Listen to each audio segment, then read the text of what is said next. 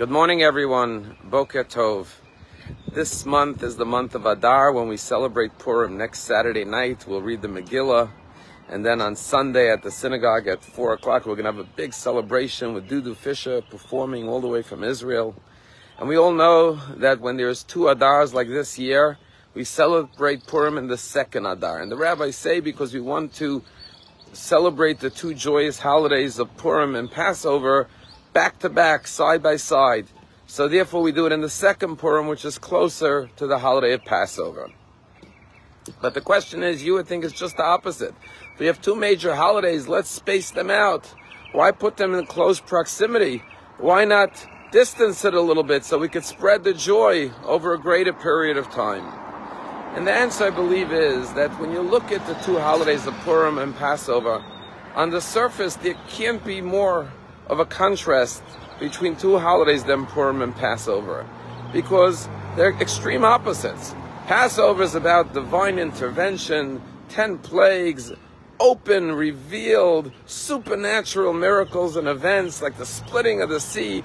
The hand of God was shown to not just Pharaoh in Egypt, but to the Jewish people in the most revealed way. On the other hand, the story of Purim is the opposite. Think about what happens.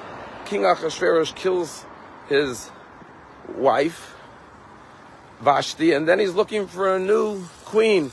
And the most beautiful girl that happens to be chosen is Esther.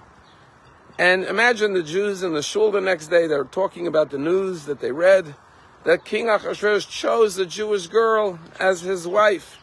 And they're thinking, well, what does this have to do with us? And then, of course, the story goes on, and two of the king's servants are plotting to poison the king, and Mordechai overhears it and reports it to the king. And once again, what does that have to do with the Jewish people? And then he can't sleep one night, and he reads how he never rewarded Mordechai, and he tells Haman to parade Mordechai through the streets. And again, what does this have to do with the Jewish people? But then when Haman comes with his genocidal plan to wipe out the Jewish people, suddenly the Jewish people look back and they realize that all of these events were not coincidences, but God was manipulating nature to bring about the salvation, the deliverance, and the miraculous salvation and redemption of the Jewish people. And therefore, the story of Purim is where God is not overtly seen and recognized and visible but rather God is working through nature. And therefore, the two holidays side by side teach us that sometimes we see God's hand like the splitting of the sea in a very revealed way in our life. Clearly, this is from God. But sometimes God works, so to speak, anonymously. God works behind the veil. And the miracle of Purim is our recognition that all along God was performing miracles for us we just didn't realize it and recognize it. And therefore, Purim reminds us that God is with us all the time, constantly, even when we can't see His hand.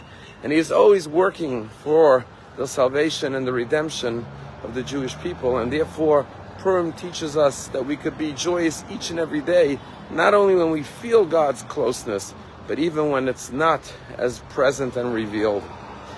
There's a story told about the sun and the wind were having a debate who's stronger.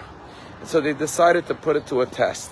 So they saw a farmer in the field working his field and he's wearing a jacket. They said, okay, whoever could get the farmer to take his jacket off is the winner, is the one who is stronger.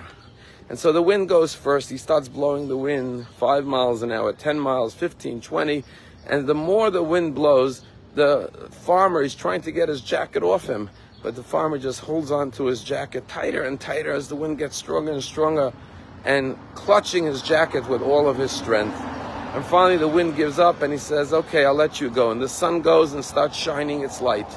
And it goes 70 degrees and 80 degrees and 90 degrees. And by the time it hits 100 degrees, the farmer's schwitzing. He just takes his jacket off and tosses it off to the side. And the metaphor is that when the winds of persecution, oppression, anti-Semitism blew. The Jews clutched their Torah, their mitzvahs, their Jewish garb, and held on more tightly and dearly. But unfortunately, when the sun of uh, freedom and prosperity and acceptance shined on the Jewish people many times, the Jews assimilated and willingly just took off their Jewish garb and tossed it to the side. And this is the story of Purim. It says that at the time of the story of Purim, the Jewish people re-accepted the Torah that they received at Mount Sinai after the Exodus from Egypt. But after Exodus from Egypt, they accepted it against their will. But now they willfully, joyfully re-accepted it upon themselves out of love because they saw the hand of God working behind the scenes. And so too in our day and age today, after October 7th, we're seeing a return to Judaism. People are holding on to their Jewishness as a cloak, an, as an armor of protection and comfort and strength more than ever before. We are living through the days of Purim, where once again there's a genocidal plan by our enemies. But like the story of Purim, God is working behind the scenes and we will see great miracles and deliverance. Have a wonderful day.